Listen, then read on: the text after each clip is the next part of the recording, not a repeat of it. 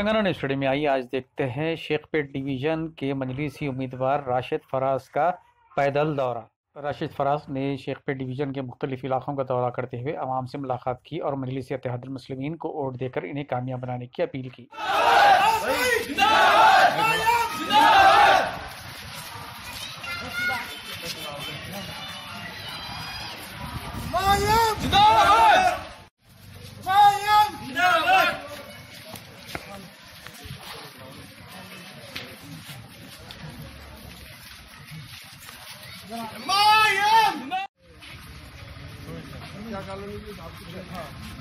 अलहमदिल्ला मैं पैंतीस से वोट कलेक्ट कर लिया हमारे पैंतीस से लोगों को पूछ लिया हूँ हमारे रिश्तेदार बने हैं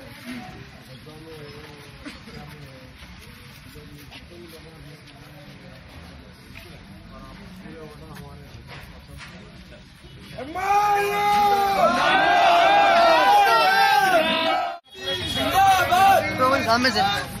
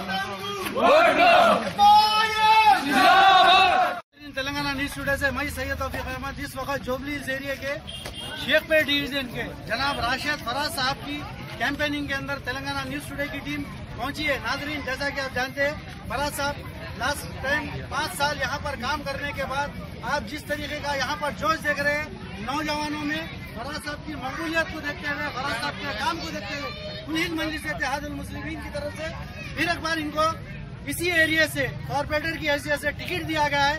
अब इस नौजवानों का जोश देख सकते हैं, जिस दिन से फराज साहब का फिर एक बार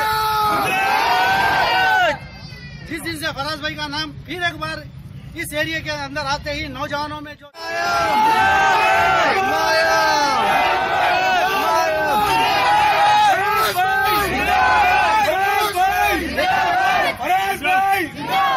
देखिए नाजरीन जिस तरीके से यहाँ का जोश है बगैर अब क्योंकि अभी इन्हों पैदल दौरे के ऊपर है, सुबह उठ के, शाम तक इन्हों पैदल दौरा करते, फिर रात में जलसे करते और चौबीसों घंटे आपके बीच रह के काम करने के बाद फिर एक बार इनको इस एरिया से टिकट दिया गया। बिला वक्त को कम करते हुए हम सीधा फराज साहब से ये शेखपेट की आवाम की मोहब्बतों का नतीजा है। बैरिस्टर असदुद्दीन अवैसी साहब ने मुझे दोबारा आवाम की खिदमत करने का मौका दिया है। मैं असद साहब और अकबर साहब का से शुक्रिया अदा करता हूँ और पूरी शेखपेट की आवाम का शुक्रिया अदा करता हूँ, जिन्होंने मेरे काम को कबूल कर कर फिर एक बार मुझे आवाम के दरमियान में आने का मौका दिया। और मैं आवाम से खास तौर पर बोलना चाहता हूँ जैसा कि अभी दौरा विराट नगर में है, यहाँ पर लॉकडाउन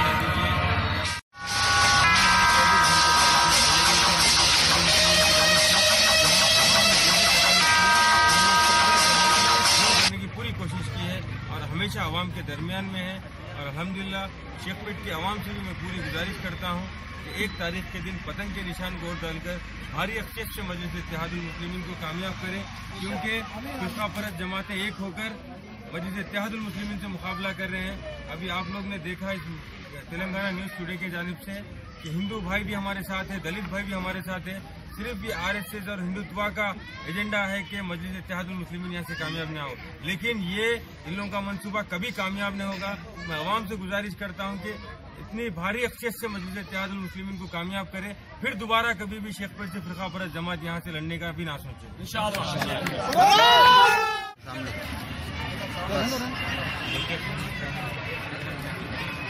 Kids!